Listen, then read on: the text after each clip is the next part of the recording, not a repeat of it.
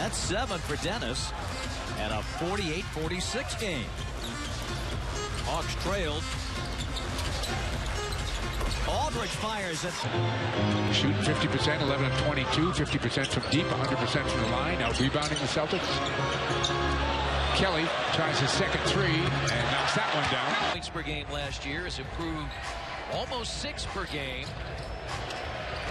Takes it down the lane against Allen and it. Make or you can take a shot. Cleared out with a left forearm against AC. All, a lot of left forearm. Levert with a left hand. It's an eight-point. It should have been on the boards. Porter's is five of six. He's got 13 off the bench. Big part of that discrepancy I just mentioned. Rozier for two. Justin Anderson replaces uh, Wes Matthews. Well, his minutes have really been dwindling. Junior in the lane for the Spurs. You're wondering about Marcus All started tonight. He's played 12 minutes. Good catch. Brandon Wright and the finger. So I thought that was interesting, guys. Well, th they have such a unique relationship, born through many years. Some of those three years in Boston, the championship and the run to the finals of the last seven years. They were the number seven seed last season. They got swept in the first round by the Cavaliers.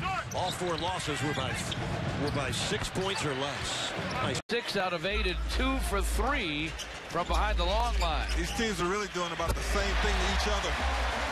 Fell in his hands. Making a terrific move.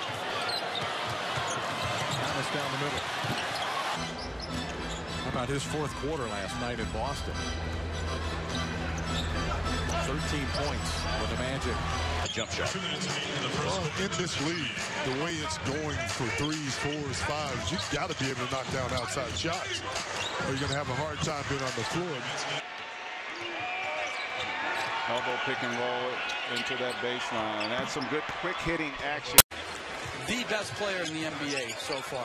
I mean, he's just been so good